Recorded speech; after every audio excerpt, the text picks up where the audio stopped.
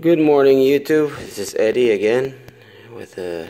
Well, this is not an update, but it is an update on one of my corals, and it's this GSP, and it's been here for a week and a half, and uh, I've been fixing the salinity, and uh, all of the other corals, they're like opening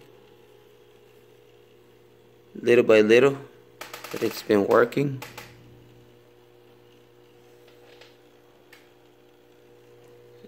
Except for that one. Oh, and uh, the turbo snails and the slugs that I got, they've been doing a great job. They're half through the rock. it's purple again. And uh, of course, the sand, clean. It's only six of them. But the thing is, they're huge. The rocks, they're clean. In some of their areas. That guy just threw my Posingsinia tree. But he's doing a great job cleaning. I'm not gonna swim for that. and yeah, I would like to know how or if that's a good position for that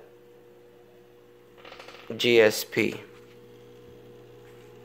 It's not opening. It just has the like at the top of the arms outside of the polyps, but that's it.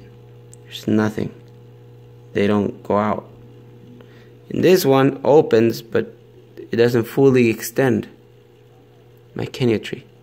But I mean, the fact that it does that, it makes me feel better.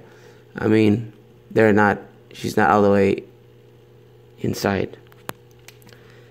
Yep, well, that's all. And uh, so far, this is how it looks. And if someone has an idea of what is that that I got, I got it for five bucks.